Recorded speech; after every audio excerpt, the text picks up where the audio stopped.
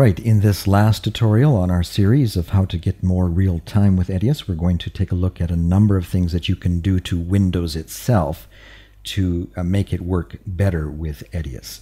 There are a lot of things that Windows is set by default that, uh, while it may uh, be great for many of your other computer uh, system scenarios, when you're working with Edius, you might want to uh, shut some of these things off because they don't help you work with Edius. Uh, in fact, they slow you down. They eat up a lot of resources uh, in the background uh, as you're working on your computer, and as a result, they're taking resources away from your Edius session. And uh, so, since it's not really helping uh, you edit better, as long as the computer that you're working on is primarily for Edius, you'll probably want to shut a lot of these off.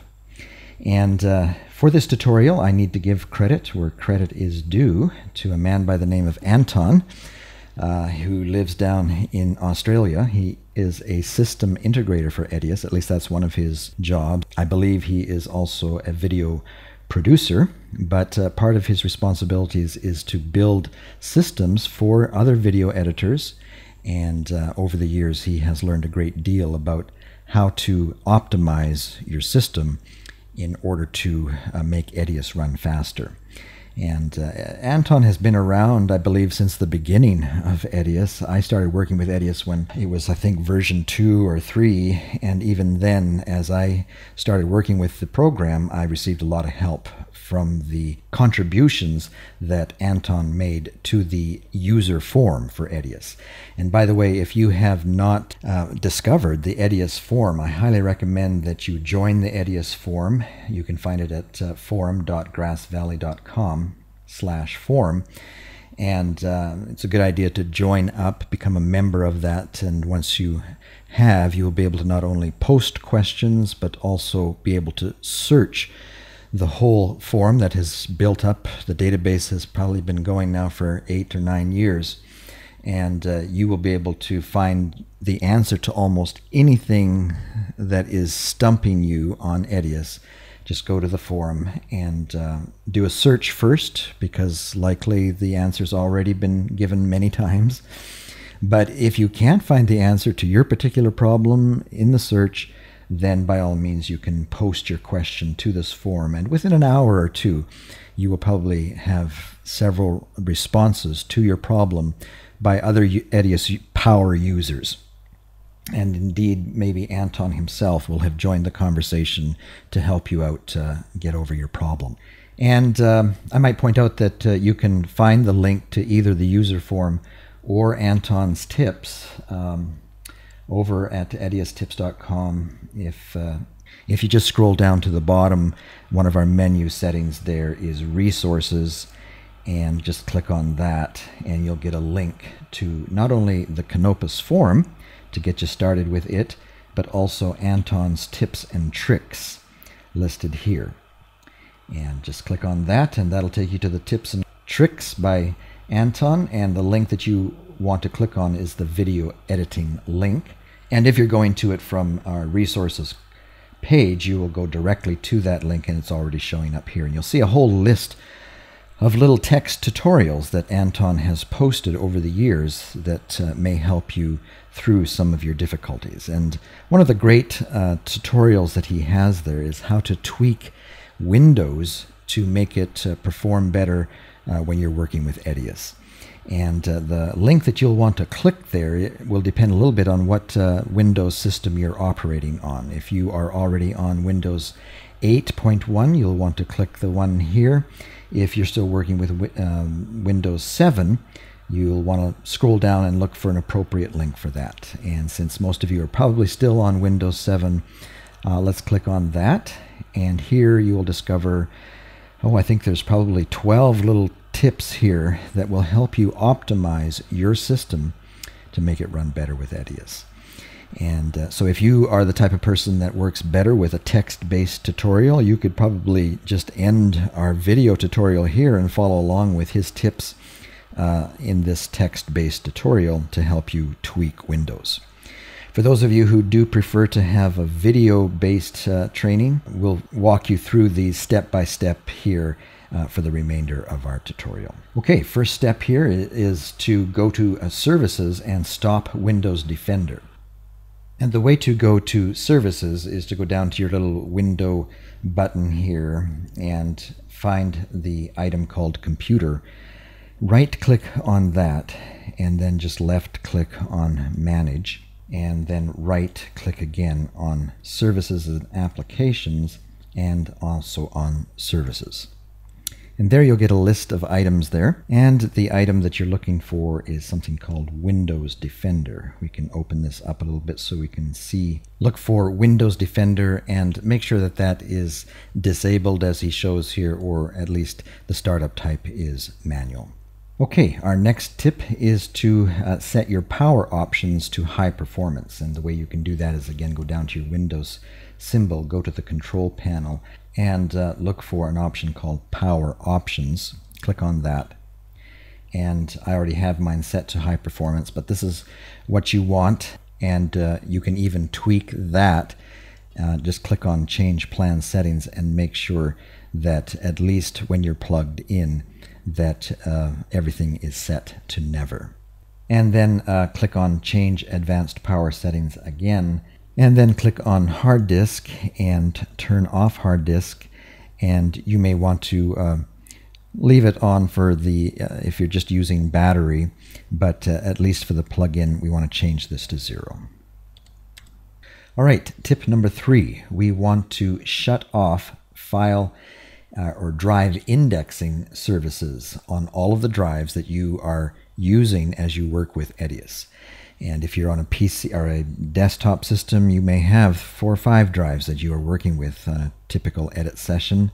And for any of those drives that you are using, we want to make sure that this indexing is turned off. Now, this will really slow down your searches when you try and search for a file using Windows. However, having this turned off will actually uh, allow you to work with Edius a lot faster. And how we do that is we uh, just open up our Windows Explorer here and right click on any of the drives that you want to make sure that this is shut off. Let's check out this drive that I have currently attached to my laptop and see if we have this service turned off for this drive.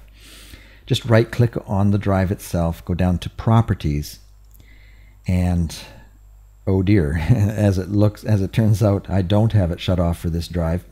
Uh, each time you buy a new USB drive that you might be working with for Edius, you'll have to do this in order to shut this off. But this gives us an uh, opportunity to show you how this works. Let's just make sure that this is unchecked. Hit apply. It will ask you to confirm that, and it may even pop up and say you'll need administrator permission or privileges to, in order to do this. In most cases, you will if you've logged on uh, as a user that has administrated purposes.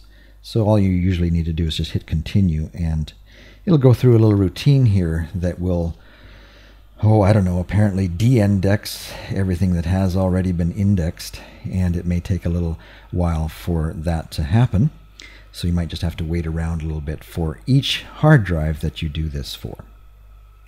So every hard drive that you are using with Edius, you should make sure that this is unchecked.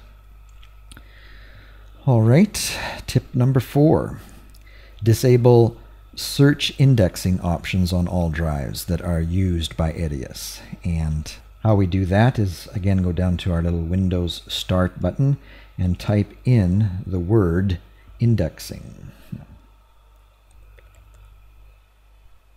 And then click on indexing options, click on modify, and according to Anton's suggestions here, we want all of these unticked. Looks like I'm going to be optimizing my laptop as we go through this tutorial. All right, disable system restore on all drives that are used by Edius. So remember, when it says that, you need to do that to all of the drives that you're using for Edius, not just the ones that are currently attached. So remember, as you uh, buy a new USB drive or attach another USB drive that you haven't been using, you might want to check and make sure that this is shut off. And let's go down to our Start button again. Right click on Computer, left click on Properties, We'll go to System Protection, and what we want to do is make sure that all the drives currently are on the off position. And if you find something that is on, you can just go to Configure and uh, click on Turn Off System Protection, hit Apply, and then hit OK. All right, tip number six, disable automatically restart when a BSOD occurs, okay? System properties, how we get to system properties, well, you can just do a Windows E on your keyboard to bring up any Windows Explorer window and then click on system properties and uh, then click on advanced system settings. And then as this pops up, make sure your tab is on advanced and uh, you should have here syst, uh, startup and recovery settings and what we want to do is uncheck automatically restart. Okay, tip number seven. We want to set the user account control slider all the way down to the bottom. All right, to do that, uh, we need to open up Control Panel. Again, go down to your Windows Start button there, go to Control Panel, look for an item at the very top there called Action Center. And what we want to do is change user account control settings. And what we want to do is slide this right down to the very bottom. All right, tip number eight. Turn off automatic defragmentation schedules on all drives. All right, let's open up our control panel. Uh, you can get to that uh, again several different ways, either at the start program or you can just hit the Windows and E key at the same time and go up here to open control panel. And uh, you might notice here, um, according to Anton's instructions here, to go to control panel and then to system and security. And depending on how your control panel opens up, you might not find system and security. Uh, and that's just the case uh, when you open up where you've got the small uh, icons showing up. If you change it over here to uh, category, then you'll find the system and security that he's talking about there. Uh, click on that. And then down here under administrative tools, you'll see that one of your options is to defragment your hard drive. And you can schedule that to happen, you know, once a week if you like but Anton recommends that we just have all of those shut off. And uh, then the idea is for all of those drives that you have working with Edius, we want to uh, shut those off. So just unclick run on a schedule, hit OK, and now it will show up as Anton recommends their scheduled defragmentation is turned off. All right, uh, tip number nine, we want to turn off some Windows features. And uh, we can do that again by going to our control panel, open up control panel. And uh, let's go back to programs and look for an item called turn Windows features on and off. And here we'll get a list of Windows features. Let's drag this down that are currently turned on. And we might be able to optimize Windows by turning some of these off. And uh, Anton here has a list of suggestions that he says are no problem to turn off. For number one, we don't need games checked. Let's open up media features here and we can turn off Windows DVD Maker, Windows Media Center, and we'll leave Windows Media Player on. And under Print documents and services. Let's open that up and looks like we can shut off the fax and scan service and looks like almost everything else should be unchecked as well here.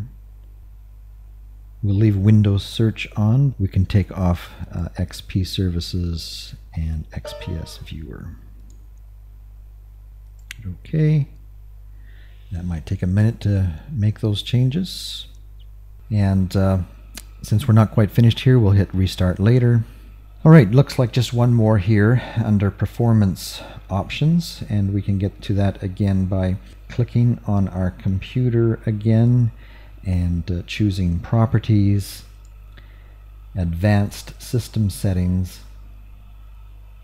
And under performance options, let's click on that and let us follow Anton's guidance here. We'll uh, select the custom button at the top there and then we can shut off a lot of these animations that happen in Windows 7 to make you, you know Windows Explorer and Internet Explorer come on nice and fade on and fade off, you know, all that beautiful stuff takes resources. And so by shutting these off, it will uh, free up more resources for Edius. No, we'll leave that one on. Click the rest off. And looks like that's it. Hit apply. Oh, there is one more here. Anton recommends that you daily empty your temp button. And to make that just a little bit easier, he recommends uh, setting it up so that this temp folder uh, is an icon on your desktop so that you can very easily at the end of every edit session or at the end of every day just click on this icon on your desktop to uh, empty the temp folder.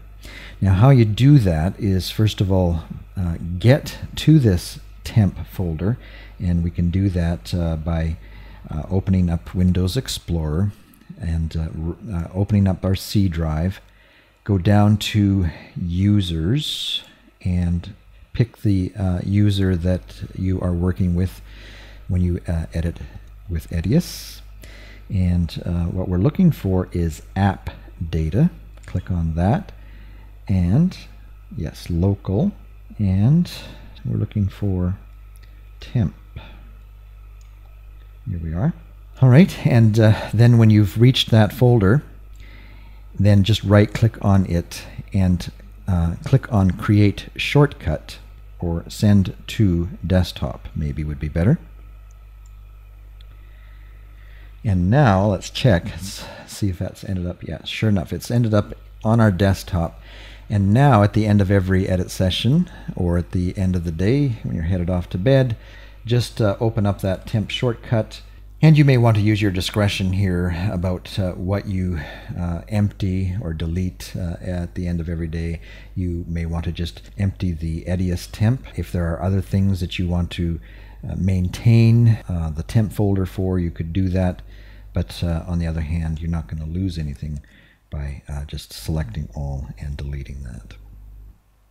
I shouldn't say you won't lose anything, um, you may find uh, that as you then run some of the programs that you've been running, it may take a little longer the next time you run it because it's not able to access those temp files like it was when you were running the program last.